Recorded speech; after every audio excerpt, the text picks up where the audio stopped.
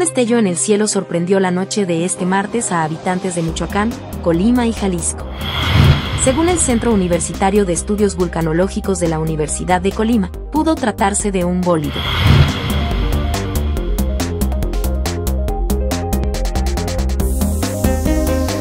Un bólido es un meteoro que al entrar a la Tierra tiene una luminosidad superior a una estrella fugaz o el planeta Venus.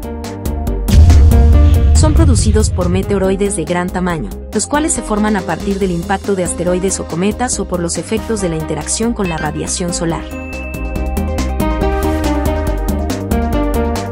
Los objetos que causan estos eventos pueden exceder un metro de tamaño y son lo suficientemente espectaculares como para ser vistos incluso de día. Al ingresar a la atmósfera terrestre, las personas suelen apreciar impresionantes exhibiciones de luz atmosférica.